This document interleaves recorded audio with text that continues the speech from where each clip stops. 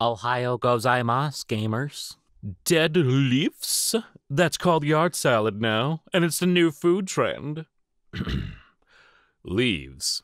Where, where are you going? When in straight spaces, just treat it like an anthropological expedition. Observe communication rituals and mating habits and the general feral interactions. My fellow queer coworker. That sounds amazing. So, fairies have replaced my baby with the way cooler baby. Not sure how I feel about it. It does fly.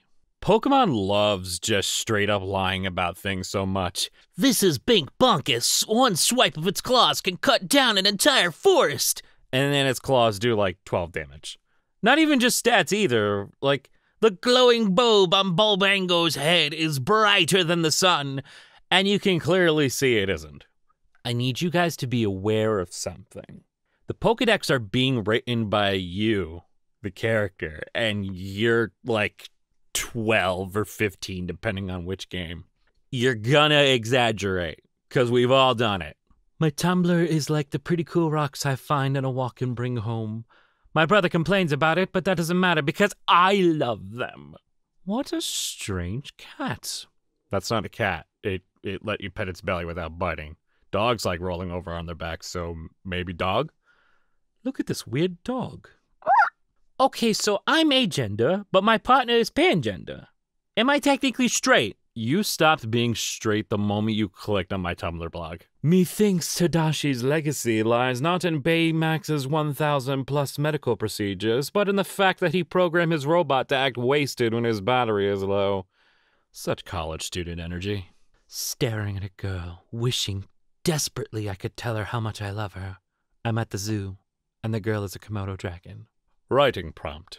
Aphrodite is talking to Ares. You know, Persephone gives Hades flowers every day. I wish you'd do that. The next day, Ares goes to the underworld and gives Hades flowers. Yeah, I'm not really sure why Aphrodite wanted me to do this, but here you go.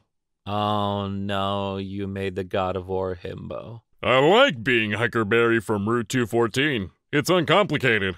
Trainer taglines before they blow you up with 15 gravelers. Yep, sure do. Neil Gaiman, do you support the LGBTQIA plus community?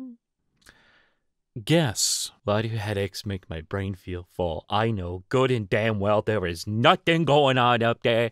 No thoughts, just hurts. Baby bobtail squids look like emojis, but alive. Look at him.